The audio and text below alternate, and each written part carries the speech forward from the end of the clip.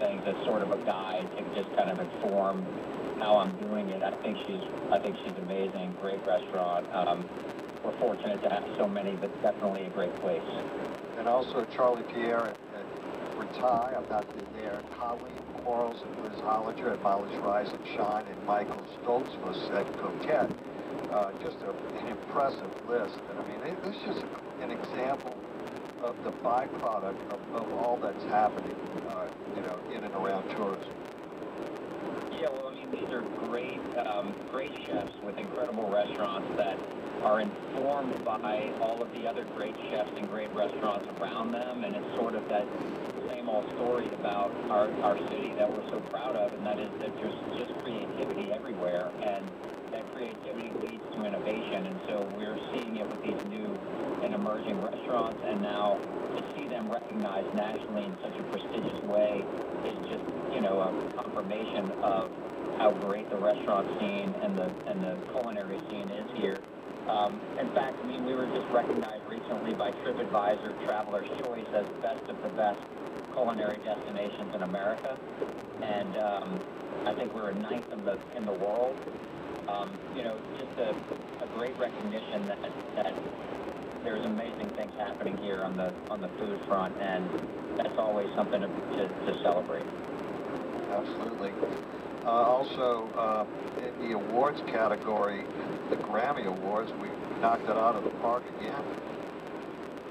Yeah, PJ Morton, Tank the Bangas Lil Wayne, uh, Dr. John, to name a few. I mean, there's just so many New Orleans and, and also Louisiana uh, nominees, and I'm certain winners in that list. Um, I want to say that we broke some records last year with victories, and, and it's possible we could do the same again this year. So, you know, again, it's just like the uh, we we all recognize the cultural richness of, of our community. We celebrate it really all of the time.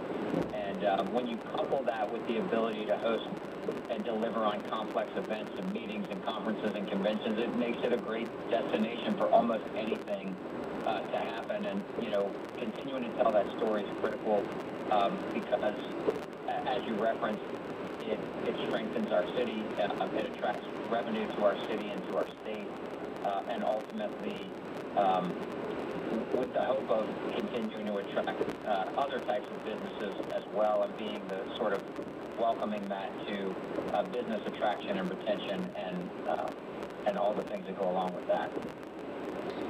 Also, we got a mention in a Foreign magazine, one of the 10 best places in the world to travel in April and that was predominantly because of Jazz Fest. They just recently announced their lineup. Looks like another great year for uh, the Jazz and Heritage Fest.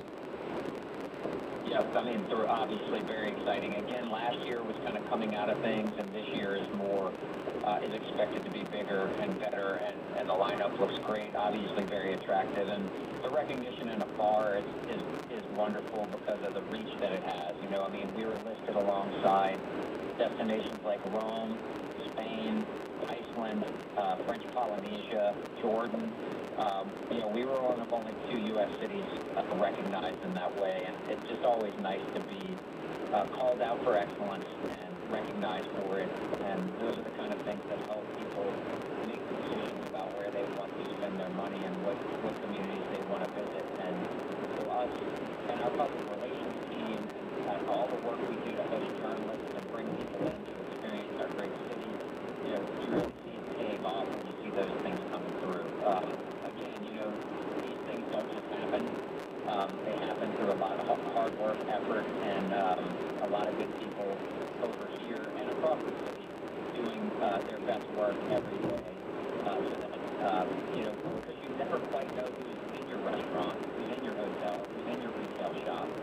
Um, oftentimes they may be uh, journalists or others who are just experiencing the city and are likely to go write about it. And so it's, it's, um, it's a fascinating thing to see how this whole process unfolds. And it's why it's important that we continue to invite journalists to our city. We continue to invite uh, influencers on social media and others to come experience it firsthand and then write about it. I was uh, I in D.C. last week for the Washington Mardi Gras, meeting with customers and meeting with, with uh, media, and spent some time with both National Geographic and also Washington Post travel editor and also on coming down to our city and, and writing some stories about us. So I expect to see that happen in coming months and, uh, you know, it takes sitting with those folks and, and, and pitching them on various stories and, and convincing them that it's worth a visit down to, uh, to experience all we have to offer and then to write something about it because that really goes a lot further than me or anyone else saying that New Orleans is a great place to visit. You know, when you get that third party verification, that's what really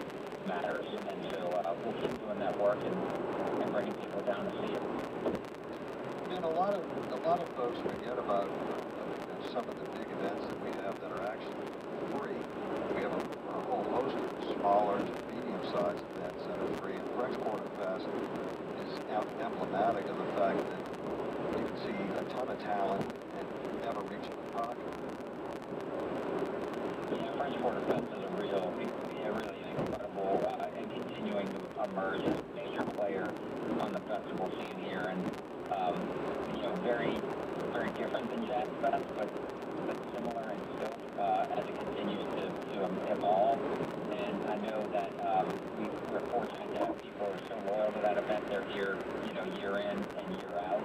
Um, certainly keeping those events free and making sure that they're available to the general public is, is important and that, that comes from sponsorships and other things and I know these organizations work really hard uh, to make those things happen. I also know that this year French Quarter Fest is celebrating a, an anniversary and going to add some, special things to the, to the program including a fireworks show and some special performances from, from big name local uh, performers and uh, really excited to see all of that and how that unfolds. And I think just provide another reason for people to want to come in and get a hotel and stay for a couple of days and enjoy our restaurants and, and support our other businesses across the community. So um, we're really looking forward to, to the spring as, as everything continues to, to unfold.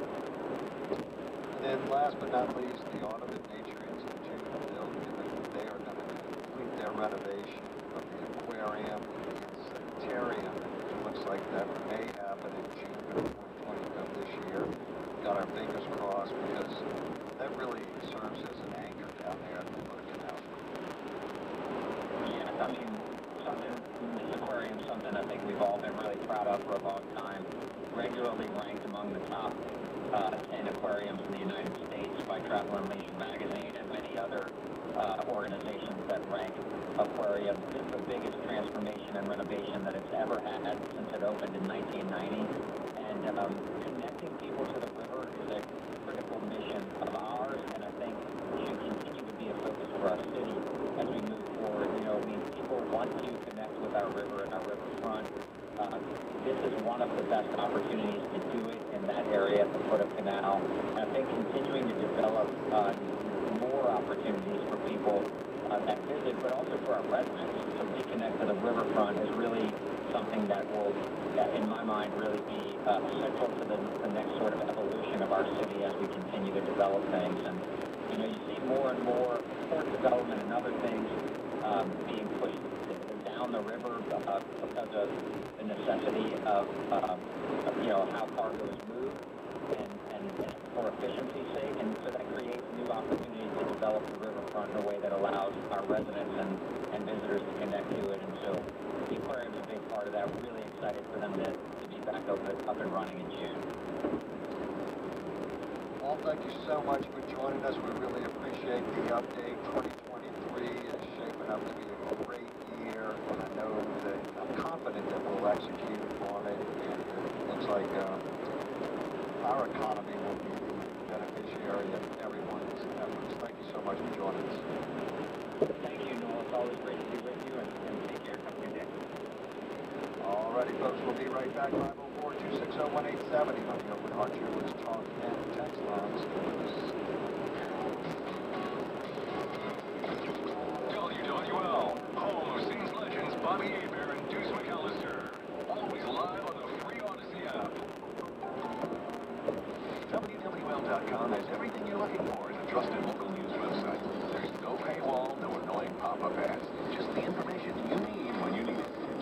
in-depth coverage of big local and national stories, plus the Gulf Coast best reporting on the Saints, LSU, and Pelicans. We've got your favorite talk personalities, too. Check out interviews, blogs, and hot takes.